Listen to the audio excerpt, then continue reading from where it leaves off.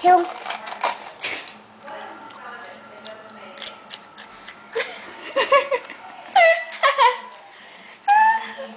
Jen, I love you.